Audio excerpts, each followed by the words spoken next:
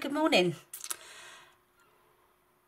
Today I thought I would do another tutorial because I haven't done one for a long time and I've been really really busy making stock for some upcoming Christmas fairs that I'm really excited about. Um, so being as it's Christmas, it's this time of the year or Christmas is on its way and that's the stock that I need to make, I thought I would make today a robin. Um, I have a plant pot, a little plant pot that I'm going to sit the robin on the edge of when I've finished him. But I'm going to do the armature to start off with and then I'm going to build the robin around that and put him on his plant pot when he's finished. So I'm going to start off with my very thin wire, which I have forgotten the gauge, but I will put that on the video. Um, so that you can see it but it's quite thin because we need to make some feet. This is what it's going to look like. Uh, this is actually for an owl, so it is a lot bigger than what the robin is going to be, but we're going to have the three toes and the back toe, and it's roughly going to be that shape. So, with my trusty ruler, I'm going to measure 18 centimetres of wire so about there. And that is how long I need for my first piece. Right so I've got my four pieces of wire roughly the same size. And now I am going to twist them using my twee my um, pliers. I'm going to twist them and I have said before in, in the mouse tutorial where I'm making the armature for the mouse, if you spread the toes out, it does get in, in between there. It does make it a lot easier to twist them evenly. Otherwise you end up, when you get up near the end, you end up with some of them twisted more than others and that's a pain. So, using my pliers to do the twisting, It's all saying, all staying nice and even.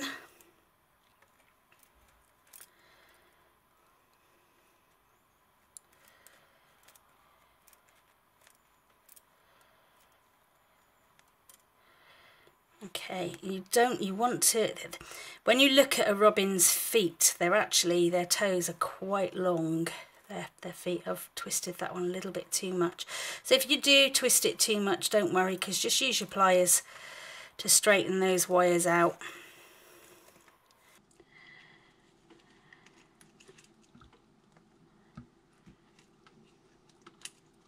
If I get my ruler out again, roughly if you twist until your toes are about three centimetres long, that'd be great and you want one to go behind and then you want three for the front. But you are going to have to trim them up a little bit because the middle toe is always going to be longer than the side ones. So I'm going to just take a little bit off each one. Please be careful where you put your wire bits at the end. When you cut them off and the back toe is smaller again so we'll take that one to about there.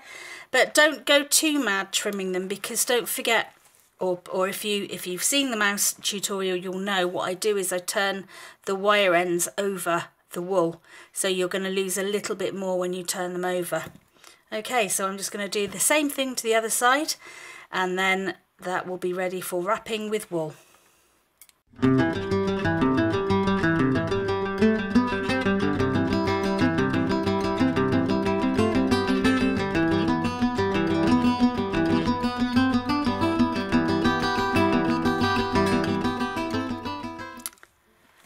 Right, so there's my robin's feet. I've bent it in the middle. I'm just going to give that a little tweak with that to make it a bit more pointy. And then I'm going to bend his knees in. So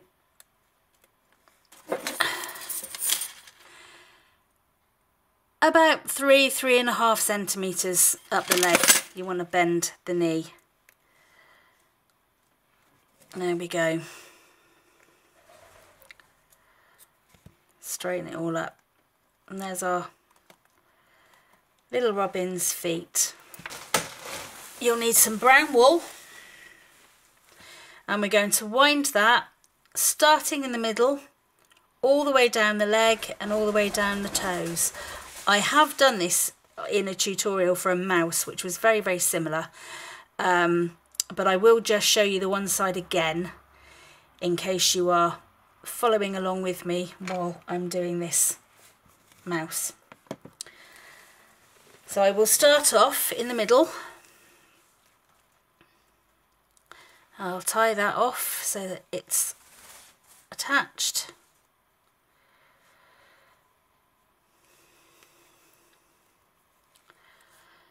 There we go. And I'm going to pull those apart because it does make it a lot easier. You're going to find yourself getting caught up around toes and all sorts of things. So you have to be very careful, but I'm just going to wind it round all the way down to the foot. if you pull your, your cord out or your wool out a little bit like this, you'll find you can, you, you kind of avoid the toes then. Otherwise you end up in all sorts of a tangle.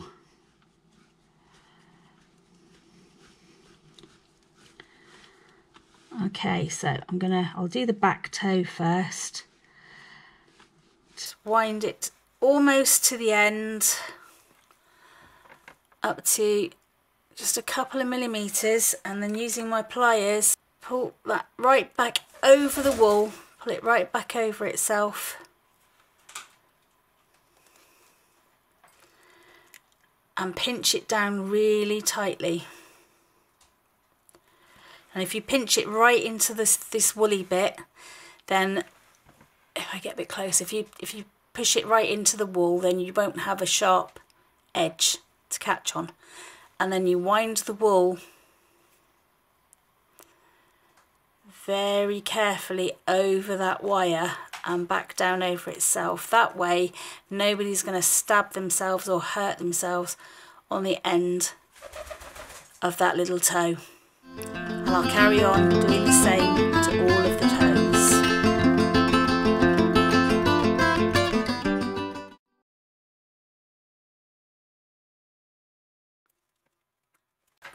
Okay, so I've wound all my toes now and I've got back to the heel of the foot and I'm just going to um, go back over the leg make sure that there's no wire showing all the way up the leg and when I get to the knee joint I'm just going to go over it a couple of times just to make that knee joint a bit fatter because on a robin their, their little knee joints do look a bit wider. And then wind back up to my knot. Remember to keep holding the, the um, wool yarn tightly so that it's not going to unravel on itself. And then I carry on and I do the same on the other side. Okay, so I'm right back up to the top in the middle again. And what I'm going to do now to finish it off is just tie that off so that that doesn't unravel. Using my teeth, not good. Okay, so just tie that off. Little trim.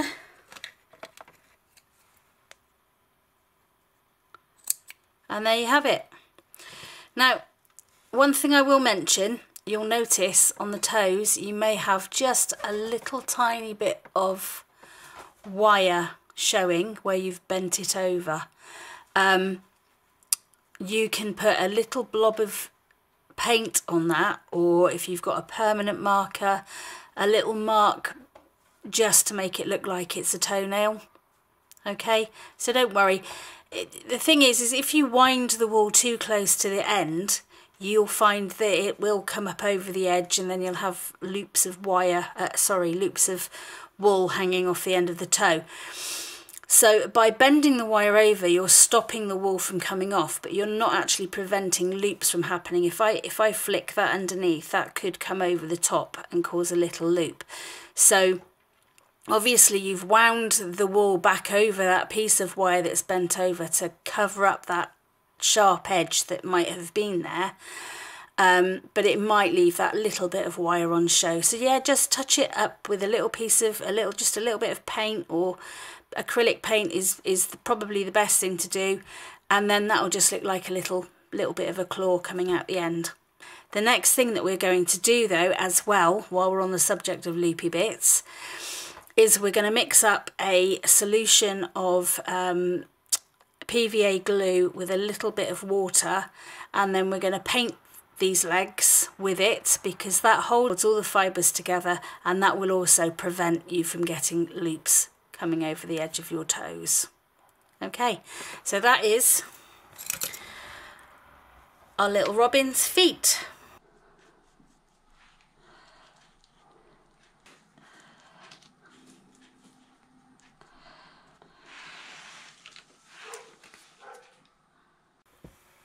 Okay, so Robin's legs are all dry now from their little bit of glue and all ready to go.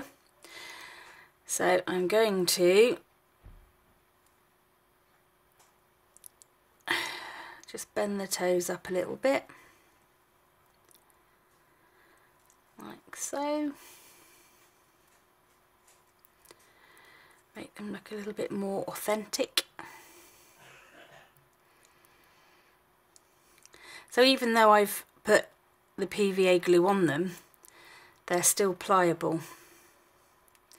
But it does just keep any loose ends in nice and tidy or it, like I say, it keeps the end pieces in.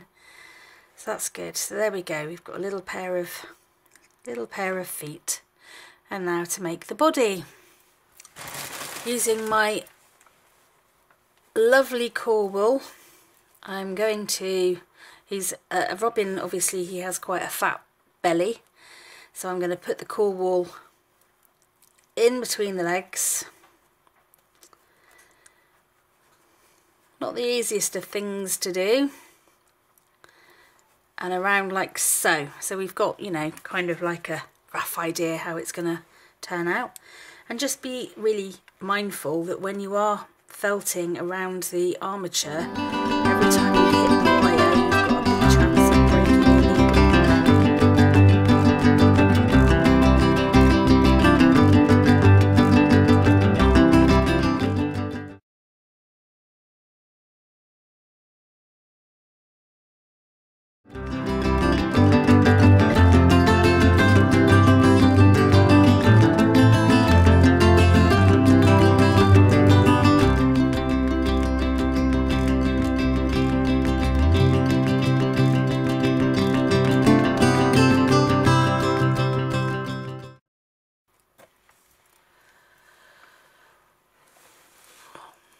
one beakless robin.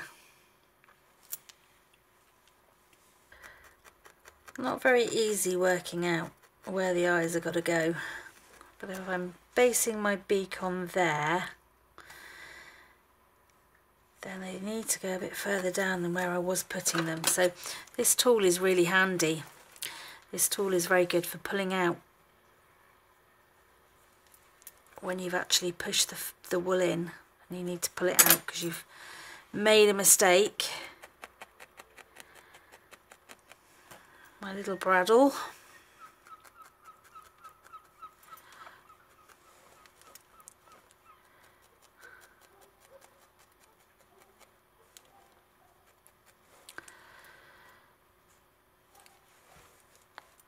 And that's where my beak's going to go.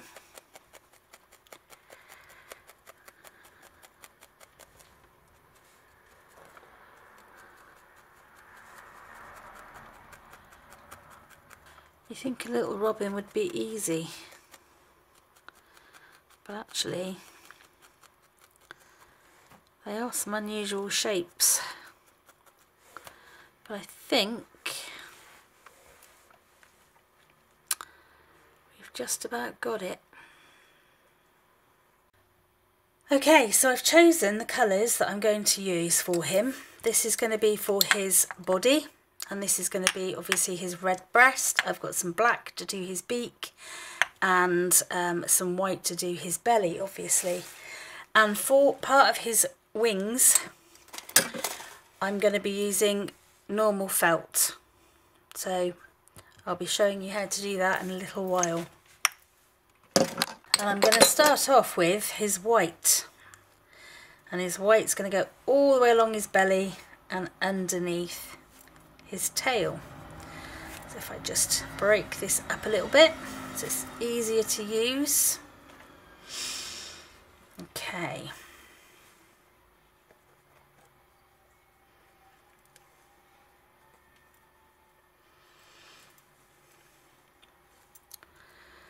Spread that out a wee bit.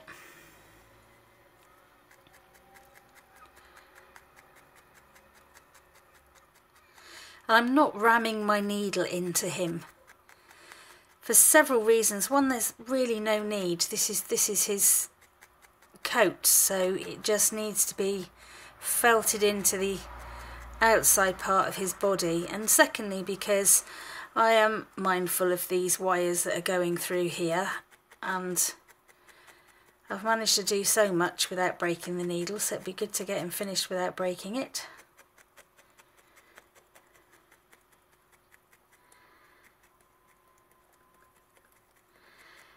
And I'm putting the wool in the direction that his feathers would go.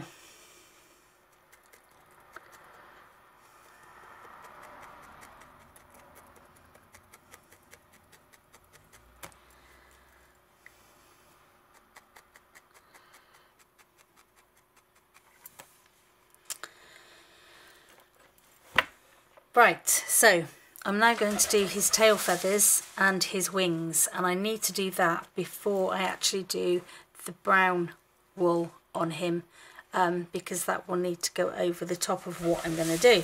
So I will show you. I have some brown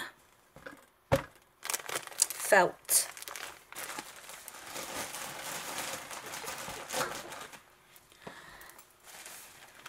I'm going to go with the dark one. For his uh, wings, they, they are in very much in a triangular sort of shape. When you have them, the bird here, it's going to come down here to a point and then up. So I'm going to cut out some wing feathers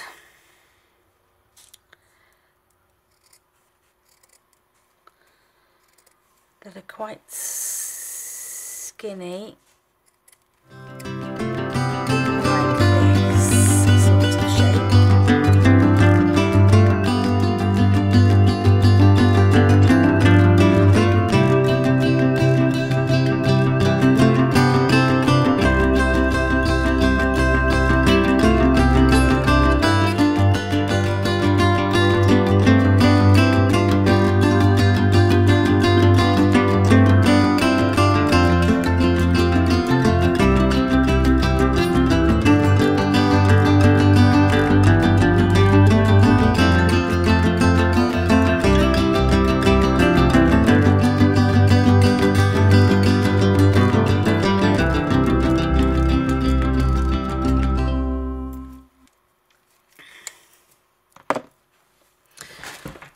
so put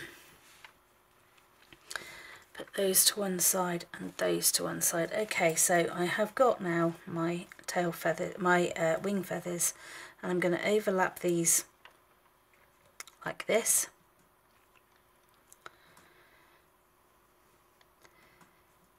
Okay, and my curve that I've cut in them is coming downwards.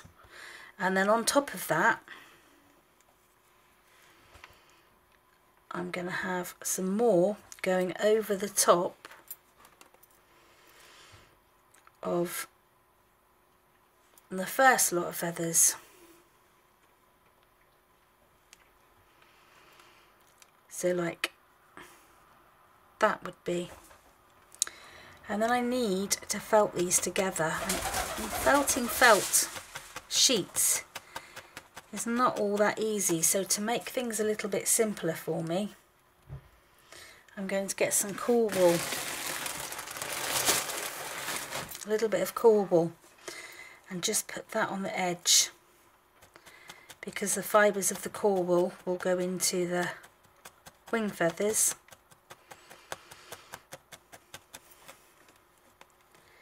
And then if I turn that over, I'm going to take some of that off. If I turn that over and put that over there, that's going to help because these white core wool is now going into the white core wool on the other side. So that's knotting together and that's going to hold these feathers together as well.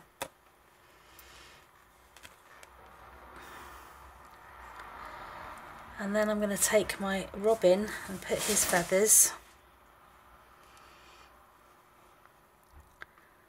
on here.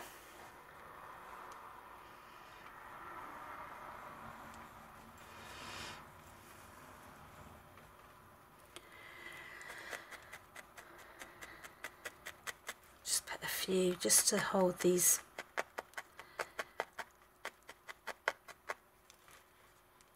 bit more securely. Right, so there's my wing feathers. So what I'm going to do now to also help to hold that in place is to get my brown wool.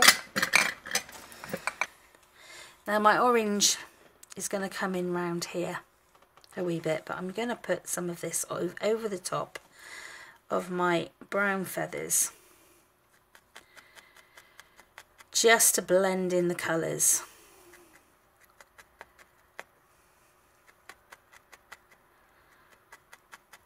And I don't mind if it's even a little bit fluffy because well they're feathers after all.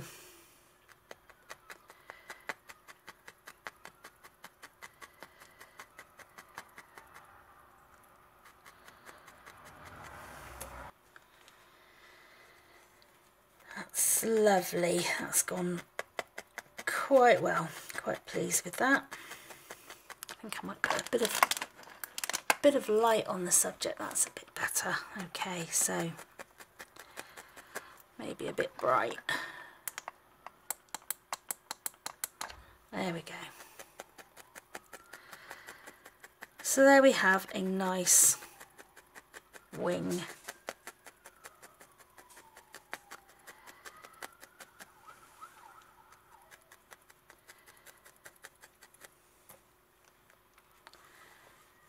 Then I am going to um,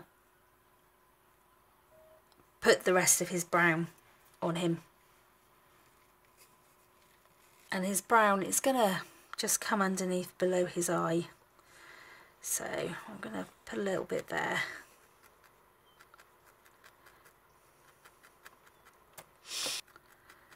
Just put a wee bit under the eye. And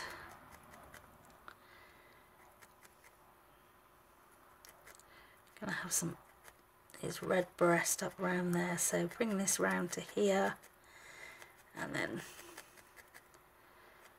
take it over his back. Now we want to give the impression that that's going under his wing now. So I'm going to curve that. That's his wing. I'm going to curve that around underneath there like that. And then get it underneath his wing.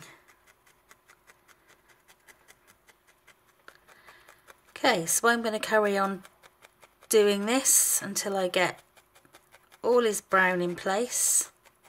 There will be patches in a minute where you'll need to add a, a little bit of extra white or a little bit of extra brown, but you'll see when you've when you've got him done. You've got most of his coat on, you'll be able to see what needs touching up, what doesn't. I'm going to go on and do his other wing and then I'll be ready to show you how to do his tail feathers. Okay, so his tail feathers aren't quite as technical as his wings because they are pretty much all one length. So I'm going to cut them, instead of cutting them coming down to a point though at the end, I'm going to cut them rounded at the end of the tail. I folded it over, I'm trying to I'm rushing it. I'm trying to uh, cut two at a time. Okay, so I'm going going to do about six of these, and what I'm going to do is um, I'm going to do the thing that I did before with a little bit of the core wool, and I'm going to I'm going to lay these out in such a way that first two will be side by side. You can always trim up these little fluffy bits when you've finished and then I'm going to overlap them slightly, the three.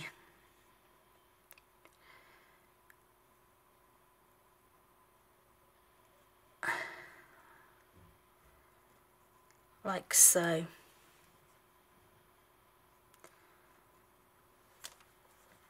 but I do want to keep them close together at the end. I don't want them separating too much. So if I fold that over like that and that over like that and then I can felt them in place. Okay, so then if you take your robin, because I, what I have done is I've, I've left his bottom, I haven't actually covered that with the brown as yet because I knew I was going to be putting his tail feathers on. And I've put it so that the the bits that go that were over the top are now underneath if that makes sense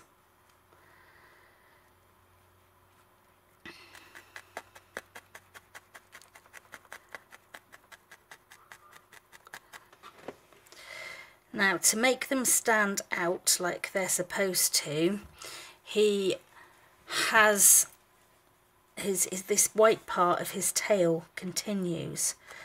So I'm going to just bring that round a little bit.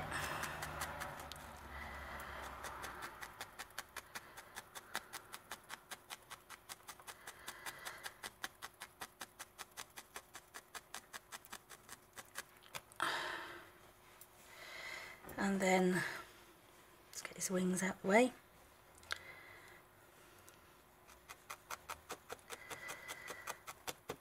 I can needle felt up from underneath.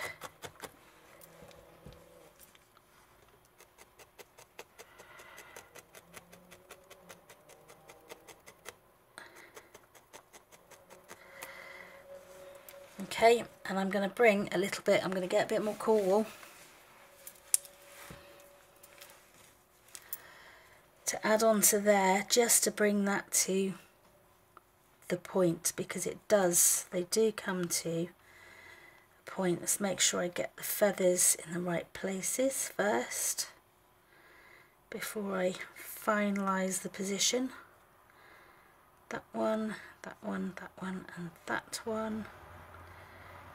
Okay. Right, there we go. So now I need to cover up this bit of core wool with some white.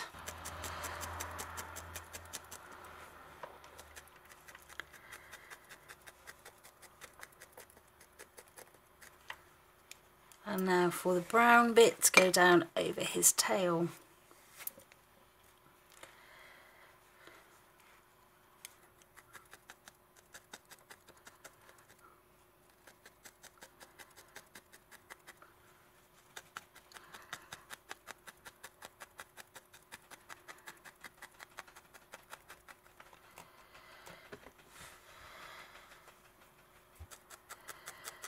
bit behind the neck does come in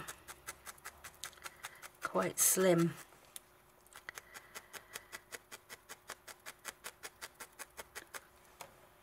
From behind the eyes.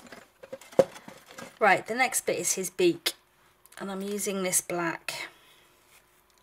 They have very, very dark brown, almost black beaks. And this is going to be the tricky bit, so I'm just going to start off with tempting. Ideally I would use core wool for this, but I have run out of black core wool. So I'm using merino, which is going to prove to be a bit tricky, but we'll get there.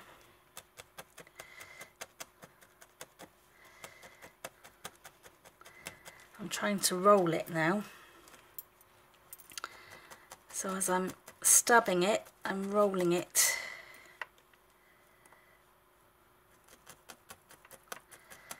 because I want it to sort of form a kind of a cone shape.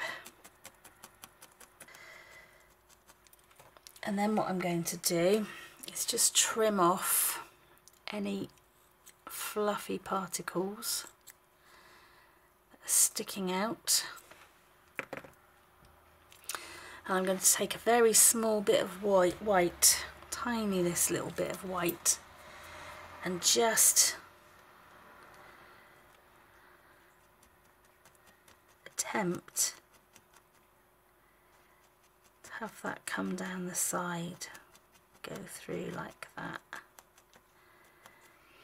This is where you need six pairs of hands.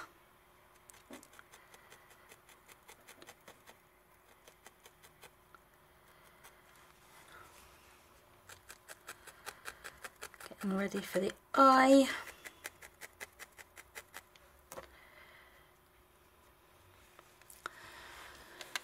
And we'll take some of this orange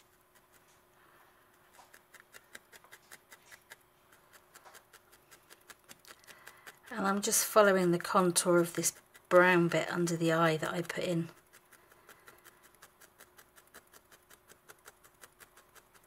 Pushing that fibre through. A bit more orange.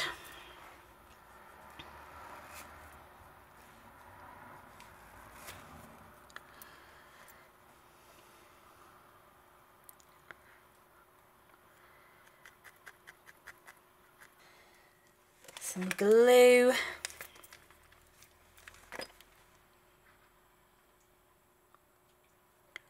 Push that right into the hole. Oh. And don't let it stick to your fingers. There we are.